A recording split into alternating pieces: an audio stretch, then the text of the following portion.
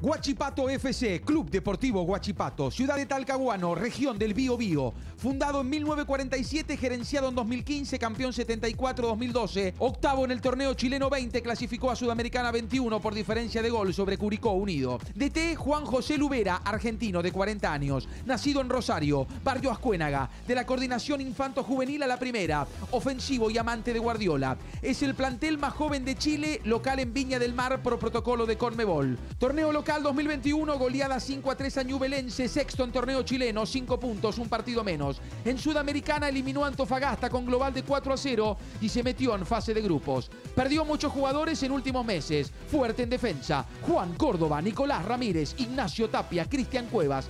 Ataque con protagonista Walter Masanti, ex Atlanta Tigre Comunicaciones, 24 años, el jugador a tener en cuenta por Casla. Socio de Maxi Bejar y del paraguayo de 27 años, Cris Martínez, el rival de San Lorenzo.